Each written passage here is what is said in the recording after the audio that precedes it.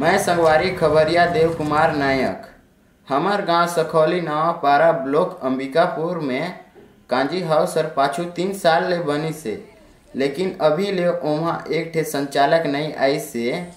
एकर कारण kanji house sir घायल टूटे के स्थिति में आ गई से। आवा गाँव वाला मन से जानथन कि कांजी हाउस कर नहीं खुले से किसान मन ला का तकलीफ़ हो गाँव में गाय बैल खुला रहे तो तोर खेत कर फ़सल में ला का नुकसान हो भाई गाय बैल खुला रहे तो फ़सल के गाय खा जाए और ओकर घेरावा तो हमन करे सकब नहीं पूरा खेत ऐसा मन मतलब वो कांजी होश मतलब खुले तो मतलब आदमी वहाँ पहुँचातीस। एकर बारे में सरपंच ला कहीं के है नहीं सरपंच मन एक समय में गाँव कर मतलब बोलत रही कि कांजी हाउस खोलब इसे तो पता नहीं किसे में नहीं खोली में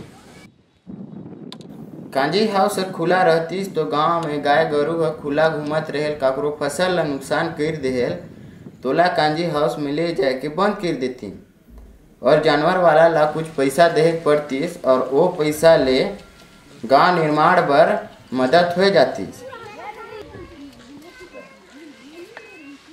छेरी बकरा सब जाए खुला रहेल तो तोर खेत का का नुकसान होल फ़सल मन का? नेना तो भाई गरु खाए देल चाहे छेरी खाए देल हैं? यही नुकसान तो है मोर।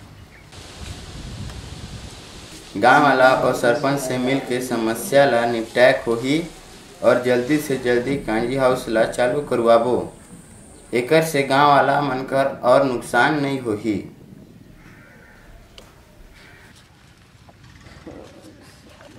हमारे गाँव में बैल जानवर खुले रहते हैं, फ़सलों को नुकसान करते हैं, इसके लिए आप क्या उपाय कर सकते हैं? ये तो बहुत जटिल समस्या है। अभी इसके लिए कांजी उंजी हाउस बना हुआ है, लेकिन इसका उपयोग नहीं हो रहा है गाँव में।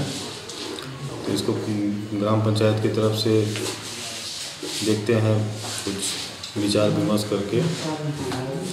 कि कांजी हाउस का उपयोग किया जाए गाय बैलों को उसमें रखा जाए जिससे खेती फ़सलों को नुकसान ना हो।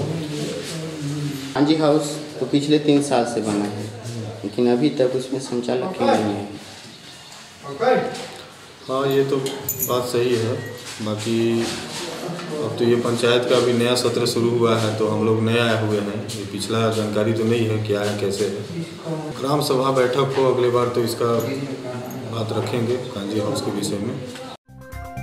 अपने क्षेत्र से जुड़ी खबरों के संबंध में किसी भी तरह की अतिरिक्त जानकारी अथवा सूचना हमें अवश्य दें। हमारा नंबर है eight four three five three double zero one zero six और eight three five eight nine zero two three zero five